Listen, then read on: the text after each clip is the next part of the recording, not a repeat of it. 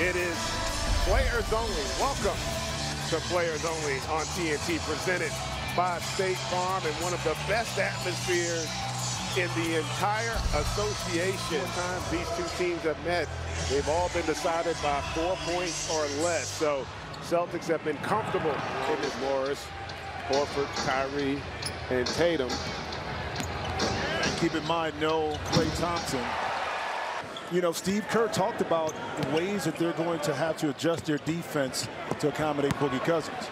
Yeah, it's called 2-3 zone. well, uh, Draymond, I think he might have lost a little half a step maybe on the defensive end, but it didn't look like it on that last play, that's for sure. Smart in rhythm there by Kyrie to force the turnover on the McKinnie pass. Morris quickly able to knock down that jump shot. And I think Steve Kerr is going to want to have. The rotations have to be different. You might see a little bit of zone, might see a little bit of tilt, might even see a lot of switching one through five on the perimeter. able to get that one to go in green with the rebound. Yeah, but Damion Lee coming in, you see the effect right away. Coming, that can stretch it a little bit more. Draymond again quickly into the front court. Steph knocks down that triple. They swing it around to Morris, back to Kyrie. Good defense there. That was a tough. If you're the Warriors, you couldn't be mad at that shot. You did everything right, rotated back over. It was just a heck of an offensive play. That was just a big defensive play. Exactly, because when he gets switched on the bigger player, he's crafty enough to still be effective. And that's a welcome sight there. Making sure he doesn't get a wide open three. Yeah, he's not giving that up. Baynes is going to be the one that will have to step in there and take that. And how about the open look? Home stretch going into the second half of the season. I mean, Golden State knows exactly what it is. It's, it, it's Steph Curry, it's Kevin Durant, AD, a consistent basis. Who's their third best player? And, and obviously, who's that utility guy, the glue guy that keeps everything together game to game, night to night? They're established. They're, you know, they're the second and third best players behind Kyrie right now. Kyrie, speaking of, oh. knocks down a very has the talent to be that, but at this stage of his career, I, I, just don't think from a maturation standpoint he's ready to take on that load in terms of being a champ. Is more competitive than what we saw last year, so the challenges with that is also has also impacted how we view Kansas. This is about as good as I've seen them work as a unit defensively in a while. Hayward off the pump fake, gets into the lane. And I tell you, he's looking absolutely terrific on both ends. And so he might ultimately end up being the X factor when you look at the Celtics team as we get closer to the postseason. He's lead. I want to see a competitive fight. I want to see us compete. I also want to see us get back to playing defense the way we were accustomed to playing. And that's what he was talking about in that timeout. On that wing wide open, able to knock down that triple off a good ball. And guys, this is kind of a situation where to me, right, Horford's got to feel like that's a matchup he's got to win is Hayward. Shooting air ball there. I think Al Horford's got to become a little bit more selfish on the offensive end score.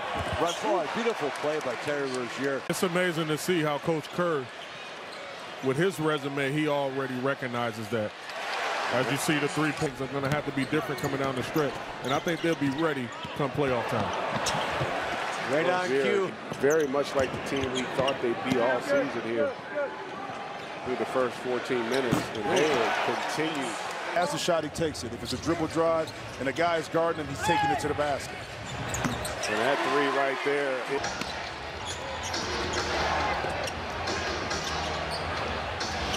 Brown knocks down that triple off Achilles tendon. Draymond came on the help there, but Tatum match up particularly well against other teams, and that's exactly what you're seeing right now. Boston having to play their best basketball. Big, and how about that defensive play there by Draymond? You're talking about the defensive effort. We're talking about the leadership. All that has to be there.